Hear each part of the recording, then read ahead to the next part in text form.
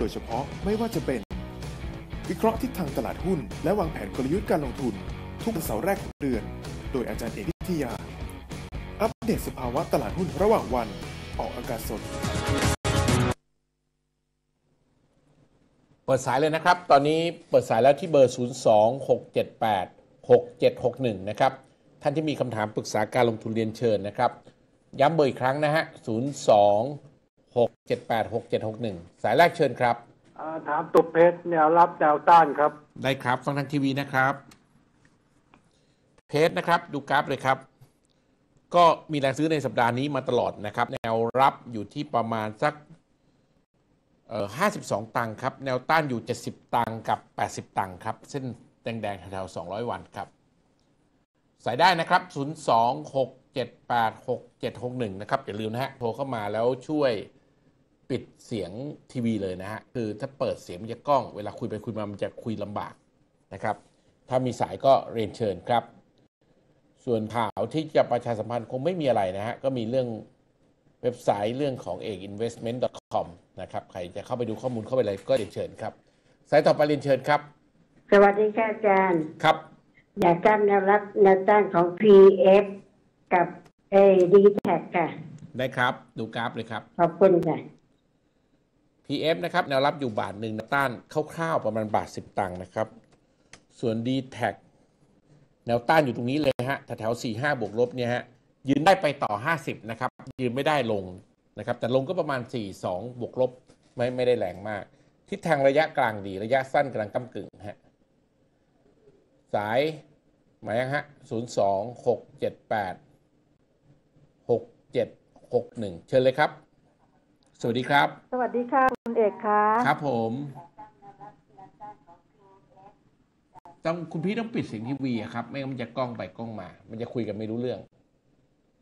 คือเสียงทีวีที่คุณพี่ได้ยินมันจะดีเลย์ฮะ เชิญครับ อ่า เมื่อกี้มันนี่นี่คือสาเหตุว่าว่าทำไมให้ปิดเสียงทีวีฮะ เพราะเสียงที่ท่านได้ยินมันจะดีเลย์กว่าเสียง จริง ๆ ครับ เชิญเลยครับ สวัสดีครับ ค่ะ สวัสดีค่ะคุณเอกคะครับ คืออย่างนี้นะคะ ถ้าเอ่อเซ็ตมันต่ำกว่าพันเจ็ดเนี่ยค่ะครับแล้วหุ้นอ่าเราถือหุ้นของKBANK อยู่เนี่ยยังถือต่อได้ใช่ไหมคะเอ่อตอนนี้คุณมีทั้งหมดกี่กี่เปอร์เซ็นต์ของพอร์ตครับซื้อหุ้นอย่างเดียวเออซื้อ KBANK อย่างเดียวเลยเข้าค่ะเข้าใจคือมีเงินร้อยบาทที่คิดจะเล่นหุ้นมีมีหุ้นค่ะกี่เปอร์เซ็นต์ครับห้าสิบค่ะห้าสิบถ้าหลุดพันเจ็ดก็ขายก่อนก็ได้ถ้าเล่นสั้นครับไม่มีอะไรครับ อ๋อขอบคุณค่ะ ครับ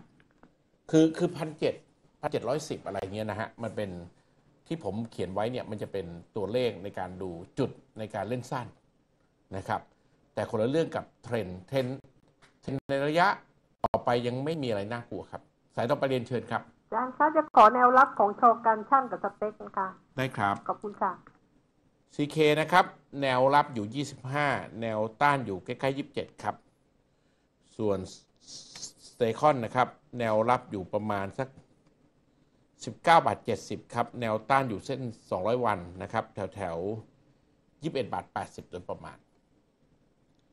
อะมีสายไหมฮะยังนะฮะนะครับเอาละครับก็จริงๆอยู่3วันครับ แล้วก็เปิดอีกทีสี่วันทำการสายสุดท้ายใช่ไหมฮะ เชิญครับ สวัสดีครับ สวัสดีครับ